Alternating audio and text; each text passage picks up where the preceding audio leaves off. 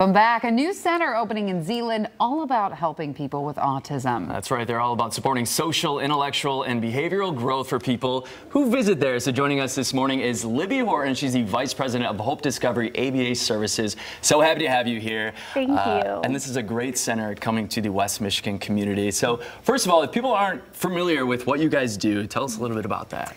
So we provide ABA services, which means applied behavioral analysis services. So we mm-hmm. provide one-on-one therapy to kids with autism, ages during the daytime is ages two to six, and then after school is all the way up through like young 20s. And so we work on verbal behavior, teaching kids to talk.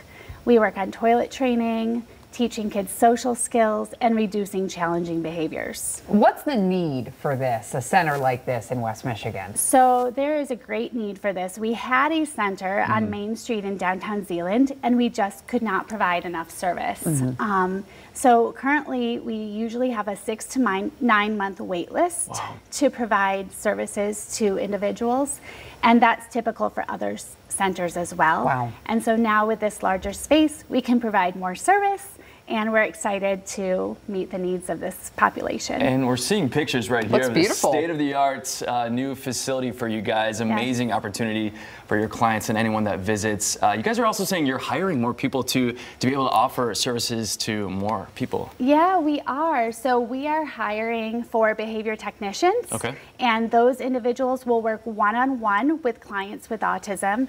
And we're also hiring for a receptionist, so an administrative specialist, as well as a cleaning specialist. So we have three positions open. We're hoping to hire between five and 10 more behavior technicians, though, over the course of the next 12 months. Awesome. These folks are interested, maybe that, that suits them, maybe that's their field. Should they, how should they contact you all? So they can go to our website, hopediscoveryabaservices.com and then they can contact Emily Sinclair. She's our center coordinator, and there's a job openings um, tab on our website that they can click on. We're also on Indeed. We mm-hmm. also have a grand opening tomorrow, yes. and folks can come to that for employment information. Awesome. So we have a table set up. um, for like short, brief mini interviews. Awesome. Well, we do want to real quick touch on that grand opening event happening tomorrow. A great celebration. Uh, where can people head to for that? Yeah, so we are in Zeeland, Michigan, near um, Huizenga Park. If mm -hmm. people know where that is, it's 201 Royal Park Drive.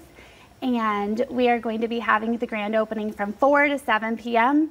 At 4, it's the ribbon cutting, and then 4.30 to 7 is activities. We're having a bounce house, fun fall activities, pumpkin decorating Amazing. for children and families, and lots of food. Awesome. A great time. Well, congratulations, of course, for the new center. Yeah, we can't wait to you. see the impact it has on our community. Yeah. A lot more families to be helped. Thank you so much. Thank you so much. so much for having mm -hmm. me. Of course. All right. 727 right now. Still that this morning. Well, third party.